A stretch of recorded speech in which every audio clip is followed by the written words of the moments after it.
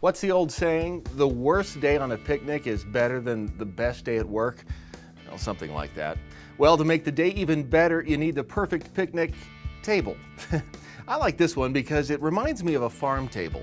It brings back some really cool memories. Now, of course, you're not limited to picnics with this table either. It's also the perfect spot to do homework, to read, or uh, to do nothing at all.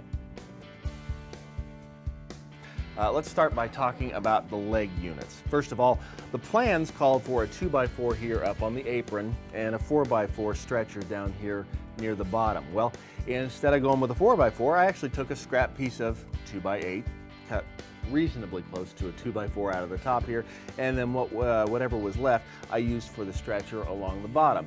Uh, I also did a lot of resawing uh, on the rest of the parts of this project which again really makes the grain stand out and it's a great way to reuse some of your scraps. It's really nothing more than just changing the dimensionality of the wood. In other words, uh, instead of uh, this being a 4x4, which it isn't really, it's more of a 3.5 by 3.5, we're going to change it into a 3 and a quarter by 3 and a quarter.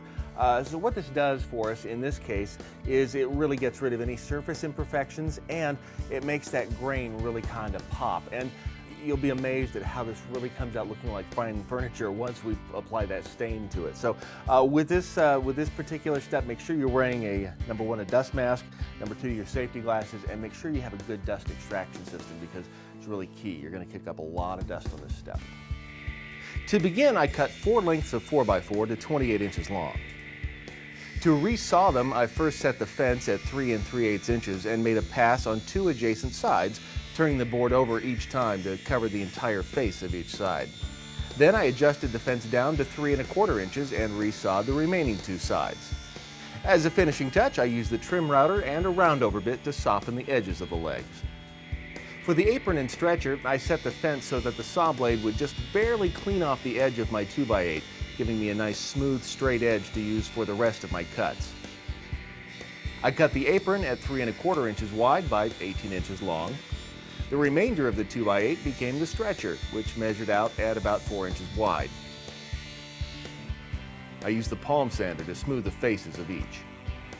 Let's talk about a couple of things before we put it all together, shall we? Uh, number one, we're going to soften the edges of the apron and the stretcher. I'm only going to soften the bottom two edges of the apron, though, because the, uh, the other side will obviously be butted against the bottom of the top of the table. We didn't see those. Uh, now, on the stretcher itself, I'm going to soften all four edges since they'll all be visible, and I need to drill a hole in the center of this stretcher for the dowel that will uh, act as sort of a footrest there along the bottom of the table.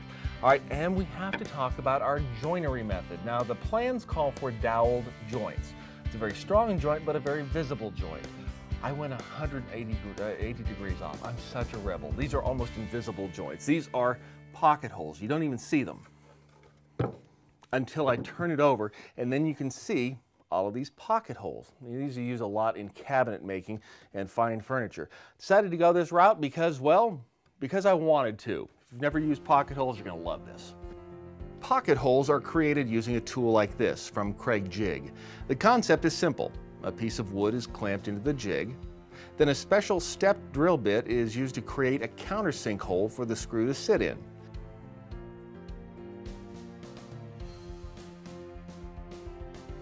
We'll start by drilling pocket holes on both ends of the apron. Next, we need to drill a hole in the center of the stretcher to accommodate our dowel. Use a Forstner bit the same size as your dowel to drill completely through the stretcher. Finally, soften the edges of the stretcher with a roundover bit. I know it looks like a big pile of wood right now, but watch as it is magically transformed into one of the ends of our picnic table. These little uh, extra blocks of wood, these are just spacers. And what I, I put them underneath both the apron here at the top and the stretcher at the bottom or toward the bottom so that they're not flush with either side of the leg. Our six inch block right here, this is so we don't have to measure each time to find out how far our stretcher is from the bottom. I'm putting it six inches from the bottom of each leg Use clamps to hold each end assembly together then install pocket hole screws into each of the eight holes you drilled.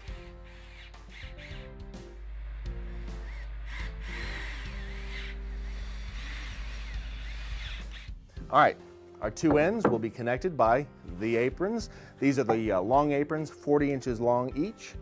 Here's one of our nice rounded edges there. Pocket holes in just the right spots. We'll talk about those measurements in a second.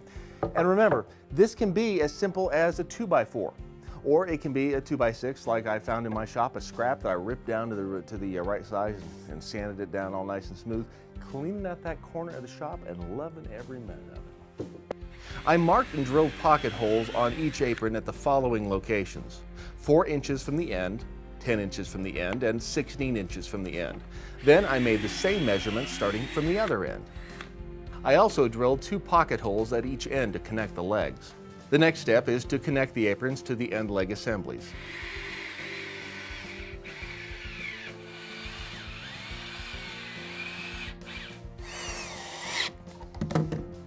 Okay, this is just a center support I decided to add at the last minute simply because I just thought the top needed a little extra support, especially in the middle. Since we're running the plank uh, planks long ways, just keeps it from bouncing so much. Again, completely optional. It's not on the original plan, so it's up to you. It's just a scrap piece of lumber with some pocket holes at either end to uh, screw into the uh, aprons. All right, speaking of the top, let's talk about how we put that together. The top is pretty simple. It's made of three pieces of pressure-treated southern pine, a 2x8 surrounded on either side by 2x12s. All three are 59 and a half inches long. Now, I looked for boards that were reasonably free of knots and major imperfections, but I still wanted the top to have some character. Just decide which side you'd like to see most of the time and mark that as the top. At this stage of the game, what I've done is taken all the tabletop pieces, turned them upside down on the workbench, put the base of the table on top of that, and then use this 4x4 and a couple of clamps to smush it all together. That's a technical term. What we have to do in this step is to, number one, attach all of the boards to the apron with our uh, pocket holes and the screws there. So it's a good time to make sure you have all the pocket holes in the right place. And secondly, for those of you who've been wondering how we get our magic footrest dowel in place, this is also that, uh, that particular step too. I've taken all but one screw out of this part of the stretcher. There's the rest of it. Now we'll take our dowel, which I've cut to just over uh, 45 inches, press it into one end down here, slide it just like this into place. Now I can put my screws back in, then cut off the excess with a flush cut saw. As usual, my finishing touches include softening up all the hard edges on the tabletop. You might even want to consider doing the bottom edge as well. Now, no table is any good without a place to sit. The plans give us several options for the design of our bench, uh, but I went for something a little more complicated, a little more upscale. You may not have the tools around your workshop to create what I did, but if you have one of these and one of these, you can create a couple of these. Use the coffee can to draw the lower curve on the bench blank, which is just a 2x12 cut to 16 inches long. The 5 gallon paint bucket is used for the curves going up each side. Now remember, there are no wrong answers in this quiz. Just center up the curve and go for it. Use a jigsaw to cut out the rough shape. An orbital sander is great for getting rid of surface imperfections and saw marks. Then use the roundover bit to soften those edges. The two ends of the bench are held together by a 48 inch long support board. I've drilled pocket holes at each end to tie it into the bench ends, but you could just as easily install screws from the other side of the end and directly into the support board. Again, no wrong answers here.